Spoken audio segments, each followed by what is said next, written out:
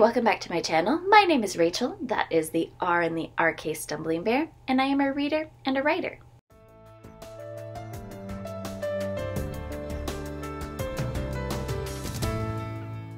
And I'm back to do another weekly wrap up. And this one has been busy because one of my year goals was to get more involved in like a some community engagement. As you've heard me talk before, I fully believe that you only get what you you only get out what you put in, and that goes for city and community and stuff. And so I've had more meetings this week than I typically have had in the past. But they have been fascinating meetings.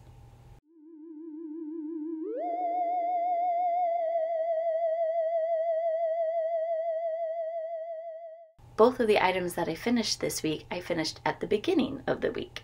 The first one is I finished Tress of the Emerald Sea by Brandon Sanderson.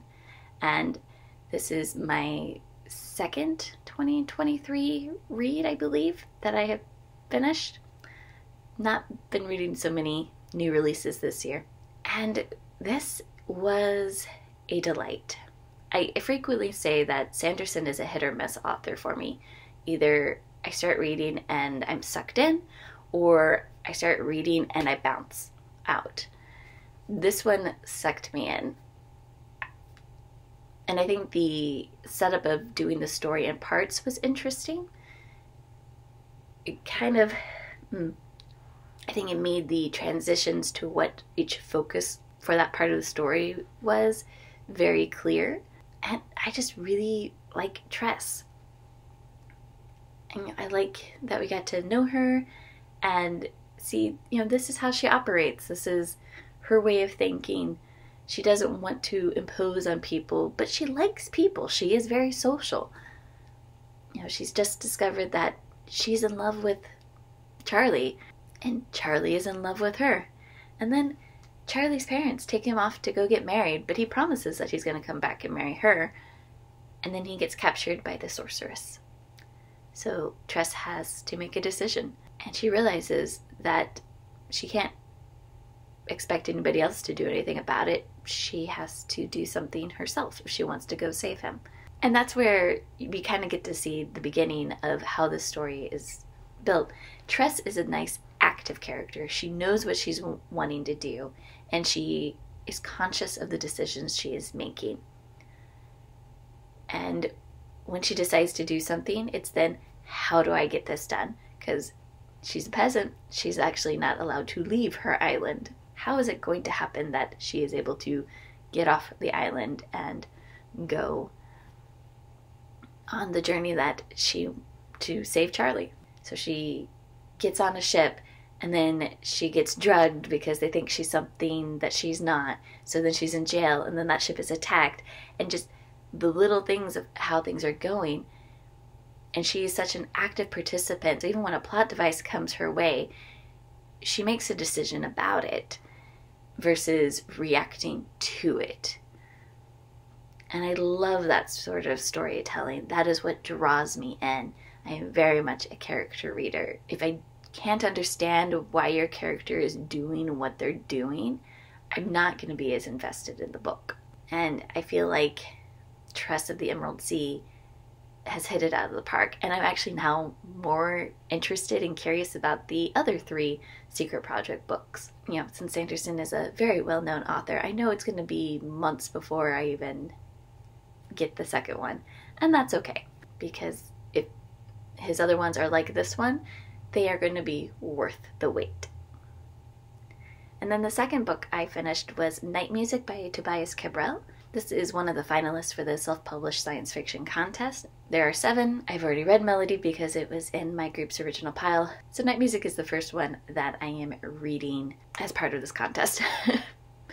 and this is a space opera, first contact story, close to home. Something has happened on Mars, and Seth, who is a pilot with a private company that is has established a base on Mars is part of the group that is selected to go find out what's going on and what has happened to our people that were stationed there. The story that follows is very sweet. I don't know if there can be such a thing as a cozy sci fi, but this kind of has that feel. It's a cozy sci fi, but it's also a hard sci fi because you get a lot of science. It doesn't shy away from the science terminology. And then you have the first contact at the end. There were some minor things with this one. I felt like the characters were more surface level and there were some gaps of I wasn't sure quite how things happen logically, especially since it, this is more of a hard sci-fi, so it's more giving me the science, and then we had like a jump. I'm like, wait, how did you discover that, and that that worked? But overall, I really enjoyed this, and definitely would love to see more by Cabral, and especially if he stays with doing a lot of wonder in his sci-fi. I don't think we see enough of that, and I really enjoyed it. Now, on to what I have been currently reading. So this week I started Humans, Beasts, and Ghosts by Qian Zhongshu. And this is one of my reads for the May of the Moderns readathon done by Margaret Pinard. This is translated. It's by a person of color, and it is a backlist book because I meant to read it last year for this readathon and then didn't, and so it was sitting on my shelf already. Figured mm, this is the perfect time. So this is short stories and essays, which at least at the beginning aren't very long. They're only like a couple pages. But I can already tell that this author likes to do a lot of wordplay. And to the point that he goes so far with his wordplay that his point has been lost, or it makes me think that the wordplay was the original point. I finally read an essay that I liked yesterday on eating, and that one I found interesting. But it's probably also because I work at the WIC office, where we're talking about eating stuff anyway. So, a quote that I liked from this is it's talking about who is the master of the house. The master of the house, for instance, is not in fact the father who earns the money to support the family, but the newly weaned child, sitting and eating contentedly. This fact, needless to say, goes unappreciated in childhood and is one that fathers would surely be unwilling to concede. Think about it. If the belly, to which we make offerings of tea and food, from, from, from dawn to dusk, is not God, then what is? I'm just like, yeah, yeah, I think anybody who has a child and when the child is hungry, the whole world can go up in up in flames as long as they get something to eat. That that's all that matters. And then he also talks about how good food is like music needs to be very harmonious and bring everything together. So I have found one essay that I liked. I probably am going to finish this after May has finished out, but I am slowly reading this. Then I worked heavily on Crucible of Hell. I know, I know you guys have been like, Rachel, we've been seeing this for months now. That's cool. I have five chapters left at this point. I am finishing it this week.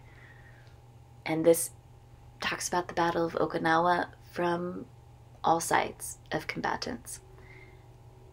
And I think Saul David has done an excellent job of pulling everything together especially pulling some other history with the atomic bomb like laced in it so you can kind of see the timeline of what's going on. Like I said, finishing this soon.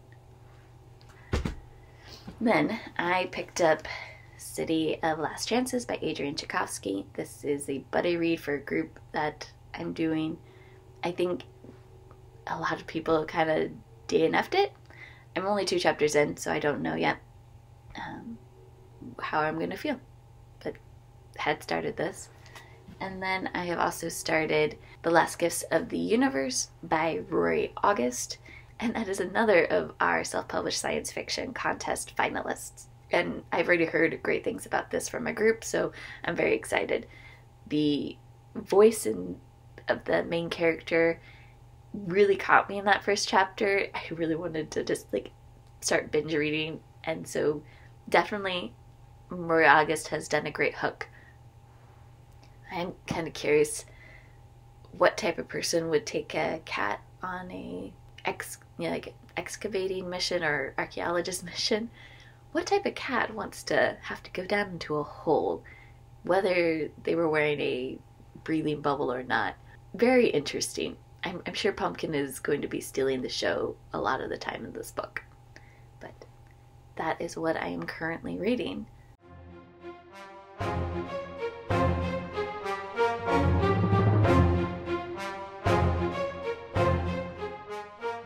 For my writing wrap up, daydreaming. That is what I've been doing this week because that's what I've, I have had time for. It, I know I've shared before that my husband is running for city commission. I knew that was going to be happening this year. I knew that was also going to restrict some of my time for different things. And yeah, so basically, I come home from work and he is talking to me about policies and governance, meetings, his planks. So I don't always get a lot of just sit down and do my own thing time. I love him and I realize this is how he's going to be because this is not his first time running.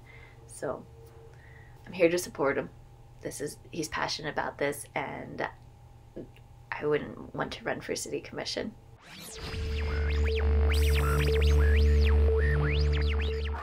Other media, we finally got from the library Everything Everywhere All at Once. I think that's the correct title. Really popular movie. I had never heard of it until it started being talked about, I think, in relation to the Oscars. And wow, yeah, this is definitely a very interesting sci fi. Something I love is that this woman is in her 40s, or she's much older, 40s, 50s, I'm not even sure, much older. Her child has grown, child's trying to figure out who she is, and the mom is still trying to figure out who she is as well. And so that was an interesting parallel because I think a lot of times children think, oh, my parent knows who they are, and doesn't realize, no, adults don't know who they are.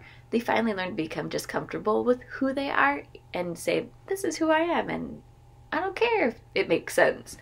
But that really comes more as an older adult. And not every adult falls into that same pattern. So it was interesting to kind of see where she's not satisfied with her life, and then she gets to kind of see alternate versions of what could have been and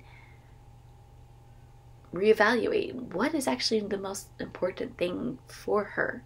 And Michelle Yeoh, amazing actress, and oh, I forget his name, but the little boy Data from Goonies. I'm like, oh, oh, it's him. I haven't seen him in so long. He definitely should get more movie roles. Like he was fantastic.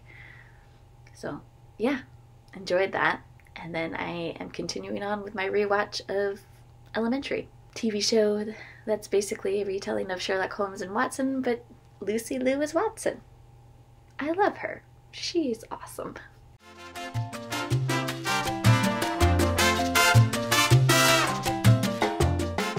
So that has been my week for what you can expect here in the future, I have a review for Night Music by Tobias Cabral coming out soon after this video.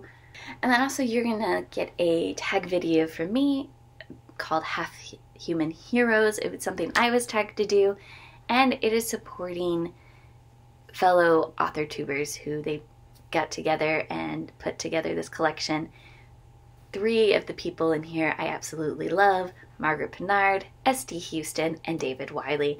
So I'm very much looking forward to doing this tag and then getting this book to read it. I'm not as familiar with all of the other people, so I love that more author tubers are getting together and writing and sharing anthologies and stories. I'm just excited to read more from my fellow author tubers. So that is what you can expect from me here in the future. I hope you guys all have a great day. Thank you.